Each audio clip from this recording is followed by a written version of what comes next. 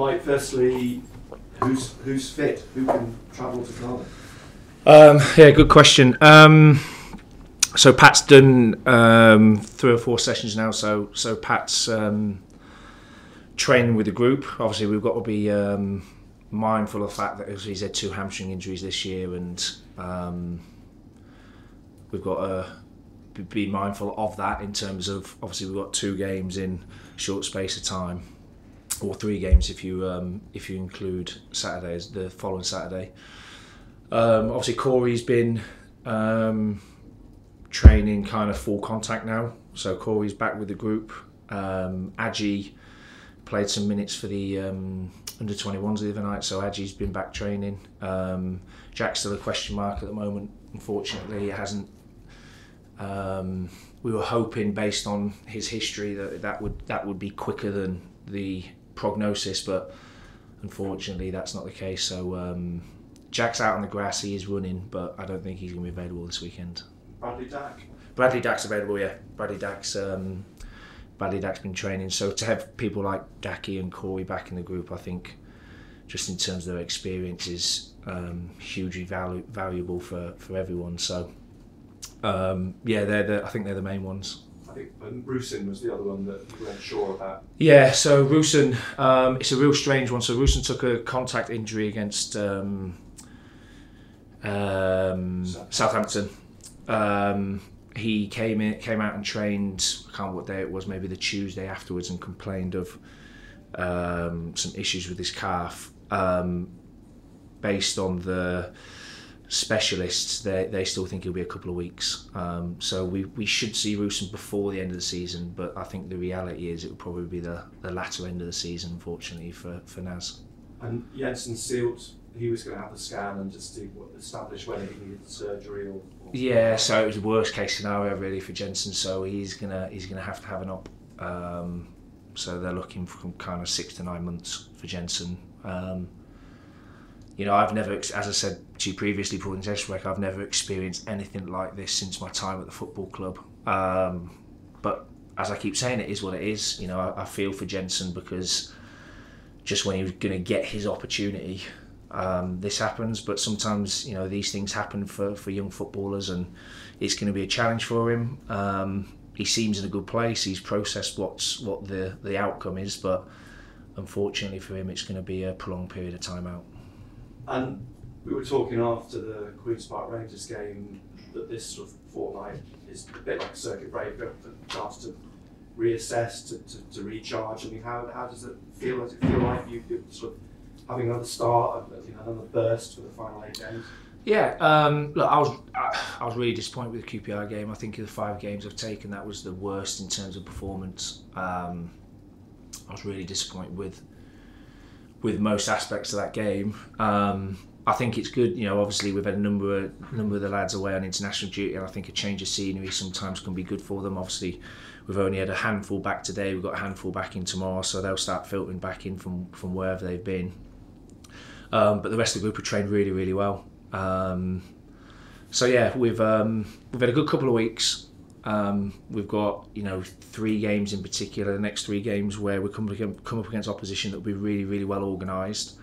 So we're going to have to be miles better on the ball than what we were against QPR. Um, and obviously the addition of some of the some of the guys coming back from injury, you know, pads the squad out a little bit more. You know, we we were we were beyond thin really before the international break, and obviously having them back in just on the grass in the training session just gives everyone a boost. You touched on it as well last time um, before Chris Ryan just about the position you're in at the minute, and, and they have a short list, and there may well be someone coming in before the end of the season. Has there been any change in that, or do you, do you still see yourself now being here for the final eight games? Yeah, as far as I'm concerned, I mean the the original conversation was um, take the team to the end of the season. If we find an ideal candidate between now and then, obviously we'll let you know. Um, I'm comfortable with whatever the outcome is. Um, obviously, my priority is what win games of football, so I'm not thinking about who the, the next head coach is with all due respect to that person. Um, we need a result and we need we need a result really really quickly so the next the next game and the next three games are going to be really important for the for the remainder of the season and from, your point of view as well Kristjaan has said that um, whoever comes in now can bring their own staff with them. I mean, are you comfortable with that? Because obviously that could have an impact on on your role and what you do. Yeah, yeah, I'm more than comfortable with it. And that was that was the case with Mick as well. I think um, there was a conversation with Mick around bringing um, a member of staff in with him, but he would obviously come initially by himself. So that was always the case with Mick. It just, for whatever reason, didn't happen. So nothing changed from when I took the team last time, and then Mick came in, um, and nothing's changed this time really um, in terms of uh, my position at the football club. Um, and Cardiff, I mean, like Queen's Park Rangers, you, you sort of hit, hit a team that are finding form again. I know they lost the, the derby with Swansea, but they had a very good run, four or five games leading up to that. So it's probably not the ideal time to be playing them. Yeah, look, really well organised. Um, it will be similar in terms of the QPR game, in terms of the, you know they um, they put bodies behind the ball, but they they're not bodies behind the ball for body's sake. You know they're um, they're really well organised, really well coached out of possession. They're a they're a huge threat from set pieces, which we spoke about with the group, and we, you know work that we, we we're going to have to do over the next kind of 48 hours. Um, but ultimately, we've got to be better with the ball. I think that's my biggest disappointment. And sometimes the international break is a blessing, but it's also a curse because you want the next game to correct the last game. Um, I was really disappointed with how good, how poor we were with the ball. So you know, we've we've spoke around. You know, we're going to have to be better with the ball, regardless of who we play. Um, so yeah, look, really well coached team. I think the coach has, has got the absolute maximum out of what what he's um, had at his disposal, and I think um, I think they've had a reasonably good season. Um, and you know they they are in form. Obviously, the last game was a derby game, um, which I mean, with all respect, derby games, I don't think you can read into them too much because there's so much passion and there's so many factors that go into those types of games. It's the pre, the games prior to that that we've watched a lot of. Um, and like you said, really well organised, threat from set pieces, and they have some really really good individuals at the top end of the pitch. Um, I find it to ask. There's a lot of people are asking me, um, have you spoken or do you know how Tony Mowbray is and how his uh, recovery's going? yeah, yeah, um, yeah. I spoke to Tony. Tony's back home, um, which I think is massive for for him uh, and his family. Um, I am due to catch up with him, but I think his response was get a win first. so um, hopefully, when um, when when that win comes, hopefully I'll pop round and we'll grab a coffee and we'll have a catch up. So um, he wants me to concentrate on the job. As as everyone knows, I've got nothing but um, admiration and gratitude for everything that he has done for me and continues to do for me. So um, yeah, he's um, he's back home. Um, I don't know details in terms of how everything went, but he's he's back with his family. We were due to catch up for a coffee at some point, but he wants me to concentrate on the job first. Mike, is is that kind of a message that you can also use with the players as well? You know, just to give them a little bit of extra motivation. You know, do it for Tony, do it for yourselves, do it for me. Yeah, listen, I, I don't want to use Tony's situation as um, in the respectful. Way, I don't want to use it as a motivational tool, but I do think Tony's situation can um, make people realise that we're all hugely passionate about Sunderland Football Club, and we're huge, hugely passionate about um, winning games of football, and no none more than myself in terms of who wants to be successful. But sometimes life happens around you and there are sometimes a bigger a bigger picture to, to anything that goes on in life. And it won't just be Tony's situation I'm sure we've got we've got an amazing fan base and there'll be personal situations that they're all going through. And um, what we've got to try and do is try and put smiles on people's faces and the easiest way to do that is clearly to win games. So we can help the Sunderland fans in terms of whatever they've got in their lives and I'm sure we can help Tony. Um, I think Tony would prefer us to be winning games of football than worrying about him, and I mean mean that respectfully. So obviously the, the draw at QPR was important, even though you say it was not particularly good at you know, performance in terms of breaking that cycle of defeats. Um, and the, the two week break presumably has refreshed the players and, and given them a little bit more energy, and, and that's a positive thing to, to come off a draw rather than another defeat mm-hmm. going into this game yeah, that, that bit's not lost on me. Like I agree with that. I think um, as a coach, you want the team to be representative of you, um, and I appreciate results during kind of what's this my third spell now that haven't haven't gone as well as I would liked. But I think some of the performances or pockets of the performances have been reflective of the work that we've been doing. Um, QPR wasn't reflective of that, and I think that's my disappointment. And listen, the, the, the guys know that, and we've had some really um, good conversations over the last couple of weeks around um, that game.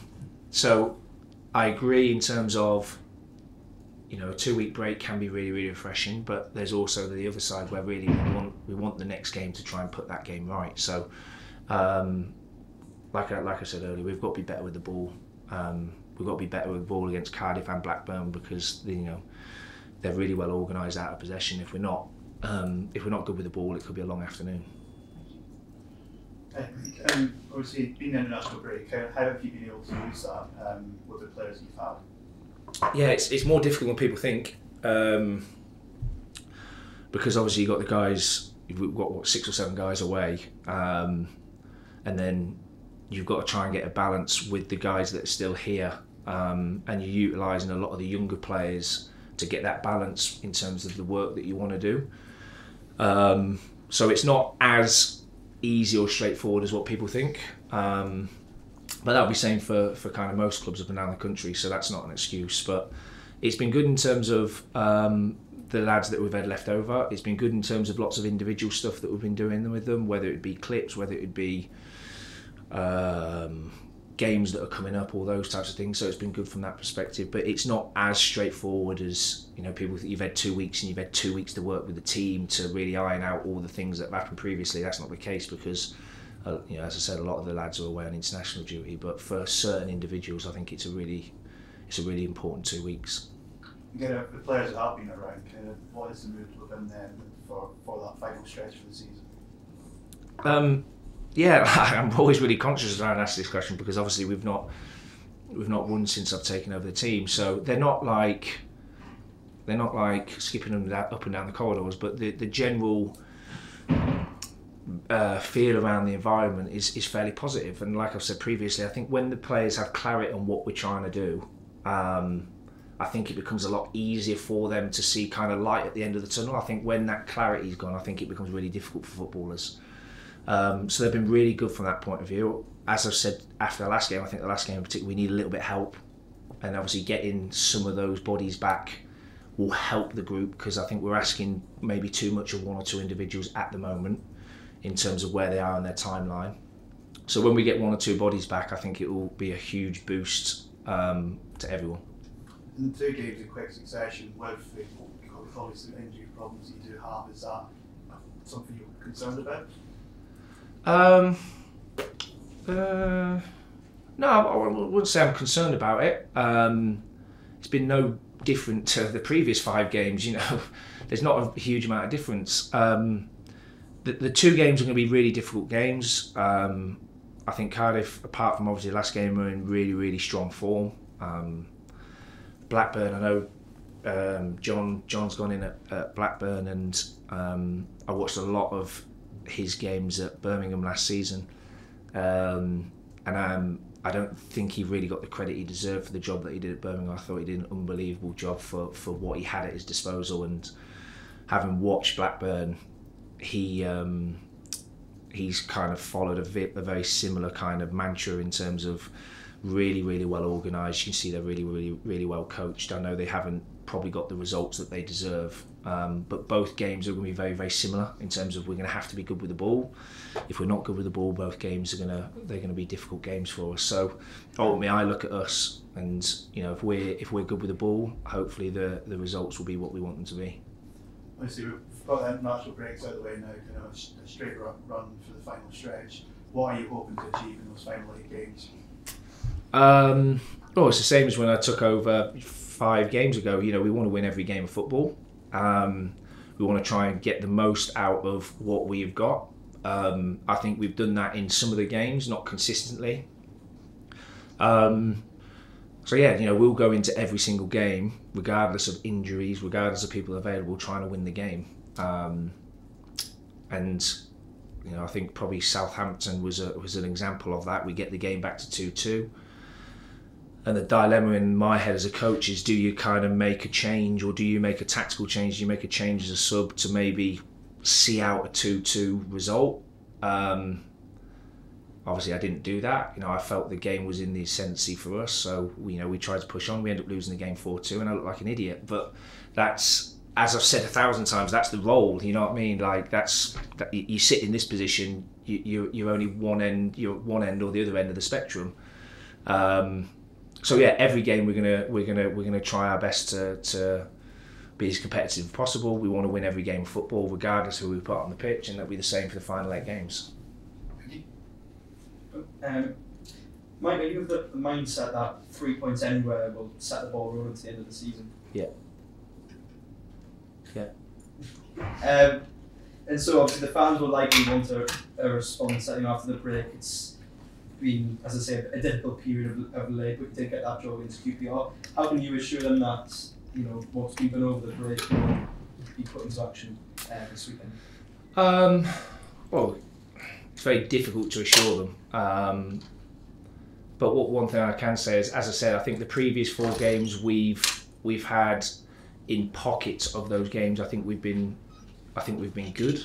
Uh, we haven't found the level of consistency that I would like as the head coach. Um, out of those four games, obviously the QPR one for me was the biggest disappointment we got a point from, from from my perspective. And I know that sounds bizarre. You know, the game that you you took a point from is the one that you're most disappointed with. But um, my gauge is always: Are they trying to execute what we want them to do?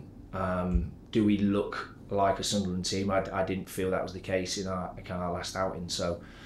Um, look, we're doing everything we can behind the scenes. I think, as I, as I mentioned earlier, having some of the some of the guys back is a huge boost for for everyone. In particular, um, some of the some of the players that we're asking to we're asking them to to probably do more than what they are capable at the moment. Um, but like I keep saying, it is what it is. We've got to keep working. We can't feel sorry for ourselves. Um, we've got eight games remaining. We want to try and get maximum points from those eight games, and we'll see where that takes us just on, on Corey Evans, of course, he's been out for, for so long, getting him back in any capacity. Obviously, he's had minutes in the 21s recently.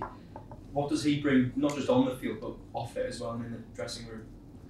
Uh, yeah, huge amount of experience. Um, really understands the game, but when I say understands the game, he understands the game at a real deep level. Um, and I know, look, Corey's still got aspirations of continuing to play and um, and rightly so, you know, trying to play for as long as he possibly can. But I also know when he when he finishes, if he does want to go that route, he's going to be a really good coach um, because he thinks about the game in you know real depth and detail. And he's been, you know, obviously we had a really good season last year. We finished sixth, um, but even during last season, there were periods where he was hugely missed.